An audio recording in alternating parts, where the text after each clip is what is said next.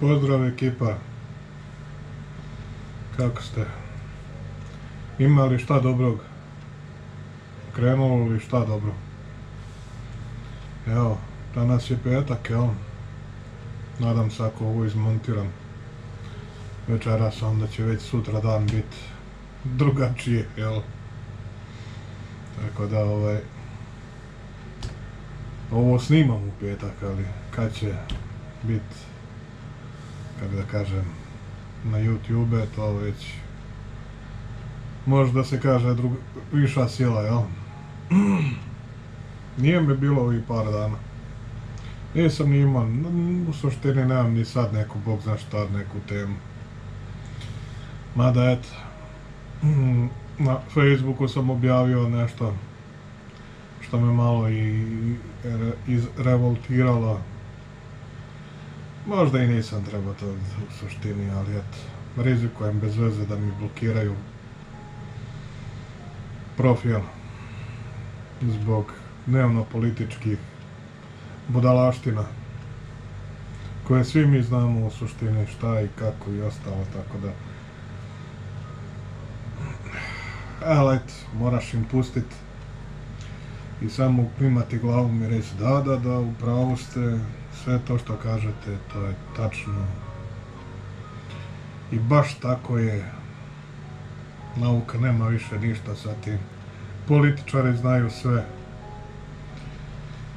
Džabe ljudi što su se godinama školovali i ostalo kada kad političar kaže to je zdravo, to je baš to ono što nam treba.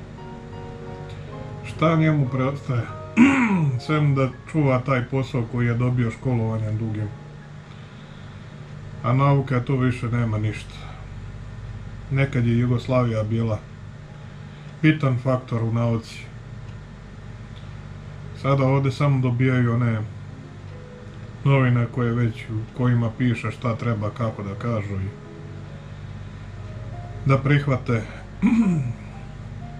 nema više ustanova u kojima će oni sami da dolaze do nekog novog zaključka i da možemo da kažemo, eto, to su naučnici koji nečim, nekim svojim posmatranjima ili eksperimentima ili šta god već dolaze do sobstvenih zaključaka, a ne do zaključaka koji im diktiraju pojedinci ili grupa ljudi koji imaju opet neke svoje lične potrebe, zahteve,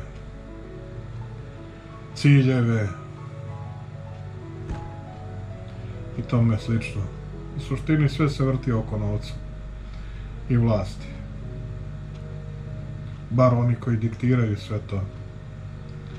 Tako da mi je zaista iskreno žao tih ljudi koji su se dugo godina školovali, koji sada moraju da ovako mlate glavama pored dok sede na tim nekim televizijskim emisijama nekog političara koji već unapred govori šta treba i kako da se kaže za dalje i da oni to prihvate i kažu da to je to, razumete, slažemo se u potpunosti, te mere su savršene, njih treba raditi, praviti. Zaista mi ih žao. Bez veze su potrošili, ja ne znam, ja da sam među njima i da tako moram, ja bi ja verovatno pocevao tu diplomu.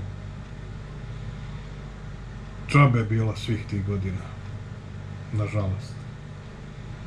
Mnogi broj veliki koji su već i završili fakultete, rade poslove koji nemaju veze sa tim. Koji su daleko ispod toga što su oni zavredali. Sad ako si deo te priče, odgovaraš, ideš niz vetar, plivaš i greješ se blizu vatre. Tako mu dođe, nažalost. Ali ono što je najbitnije za nas, da se čuvamo opet svega toga i da se pazimo tog besnila koje polako već završava nešto, već bi već trebalo da evo i stižu lepši dani, valjda, jel? Logično je.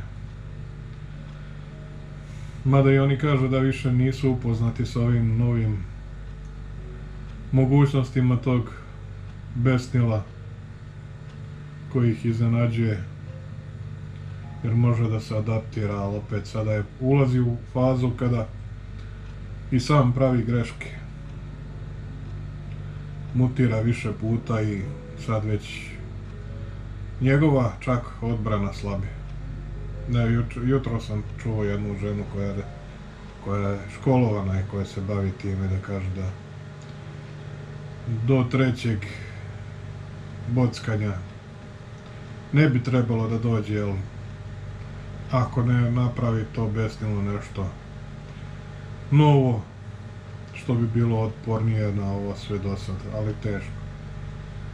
Jer on to nema, mislim nije to ni predviđeno toliko dugo da traje, ali eto, potrajalo je. No, što je, tu je. Nadam se da će ovi ljudi koji su učeni nešto opet da urade pozitivno. Mada je to sad sve teško, jel? Taman završi jedan ciklus, dođe novi. To nam je što nam je. Nama nije na mogućnost da se tu nešto sad nerviramo i da šta je džabe. Živi život kako možeš. Čuvaj se zla. To je jedino najbitnije i šerujte, komentarišite, lajkujte ako vam se sviđa ovaj video. Ako se do sad niste subscribe-ovali, subscribe se pa pravit ćemo i dalje vide. Uglavnom gledam uvijek da nešto nađem, ali ne može baš uvijek. Tako da Biće za koji dan opet neki novi video, pa ćemo se čuti do tada. Budite mi dobri, ne sekirajte se, živeli.